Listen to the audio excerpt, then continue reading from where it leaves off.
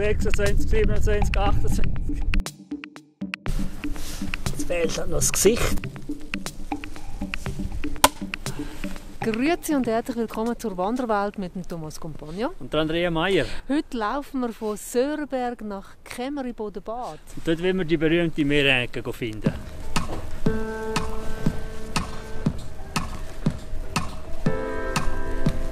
Wir fangen mit dem Après-Ski an. Kein Mensch an der Bar, aber wenigstens guter Sound.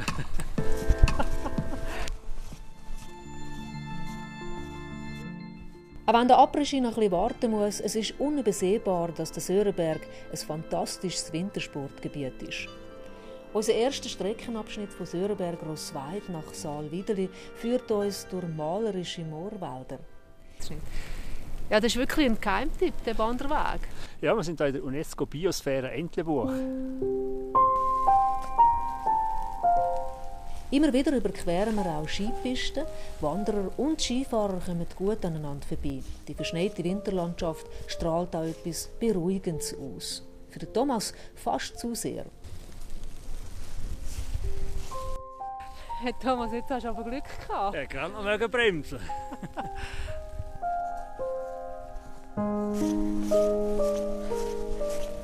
Nicht nur Zweibeiner, auch die Vierbeiner macht die Schneelandschaft fröhlich.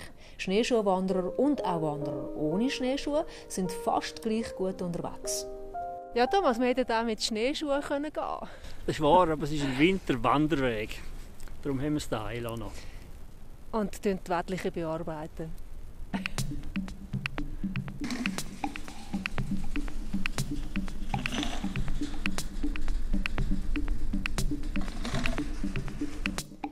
Nach der Überquerung der letzten Skipiste wird der Weg schmaler und die Schneemasse nimmt zu. Das bringt einem auf allerlei Ideen. Hey, bei so viel Schnee wäre es doch wieder mal Zeit, einen Schneemann zu bauen. Nein, das ist Pulverschnee, das hilft eh nicht. Thomas probiert es.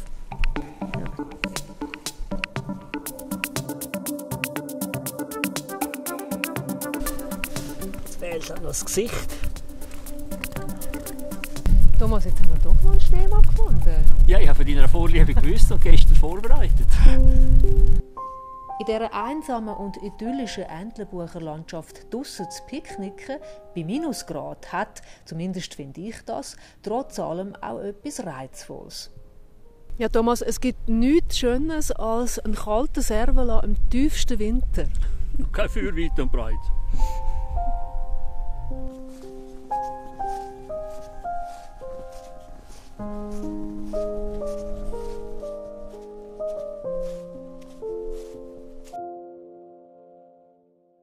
Wir nähern uns der sagenumwobenen Schrattenfluh. Wenn man der Sage glaubt, dann hat da einmal ein Teufel gewütet und die halbe Schattenalp mit seinen Krallen verwüstet. Wenn man sich die Felswände anschaut, wo jetzt auch noch zackige Eiszapfen abhängen, kann man sich das durchaus vorstellen.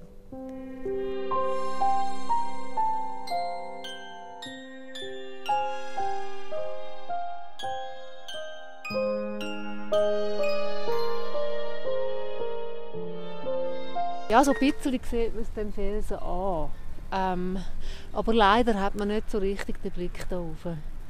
Die Schrattenflur ist jetzt im Moment durch den Schnee verdeckt. Und durch den Nebel. Und durch den Nebel. Mhm.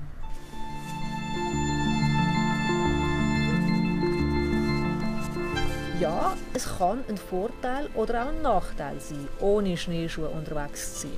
Der Thomas leitet sich einmal unfreiwillig quer.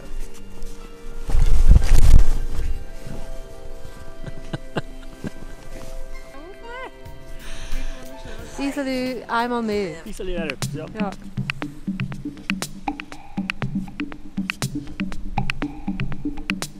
Schon bald geht es wieder im Tiefschnee weiter. Vor uns liegt Kämmeribodenbad mit der berühmten Merengue. Oder vielmehr Merenke, wie es dort heisst. Das Schlemmermal mit frischem Schlagrahm oder Nidle ist ein Traum. Und wer im Entlebuch geht wandern, kommt nicht um sie herum. Es gibt Leute, die fahren viele Kilometer da raus, nur um einmal im Leben das Dessert zu probieren.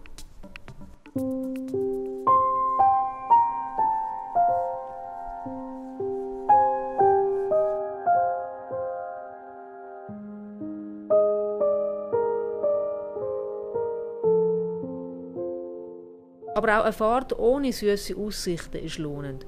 Mit müden Beinen schauen wir aus dem Busfenster und geniessen ein letztes Mal die unvergessliche Landschaft.